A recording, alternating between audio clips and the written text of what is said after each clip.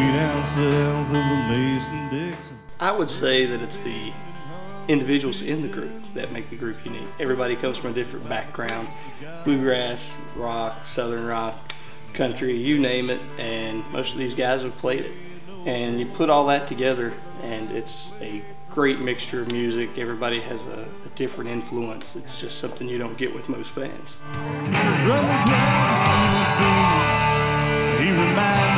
Christmas too. And that Copenhagen smile, country must be country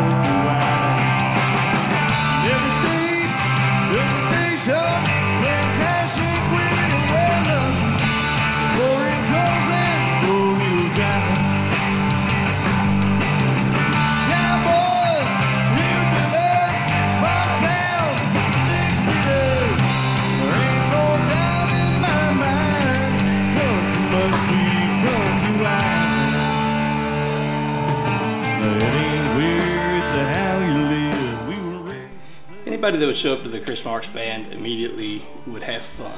I mean, if you had to put it in the dictionary, the Chris Marks band would be perfect for it. We play a good mixture of music. Most of it's 50-50 with country, classic rock, southern rock, but definitely has more of a, a country feel to it. But you name it, and these guys can play it.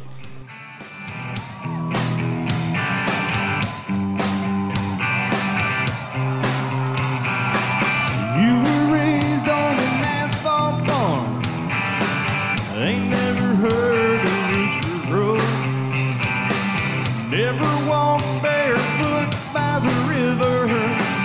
Felt the mud up between your toes.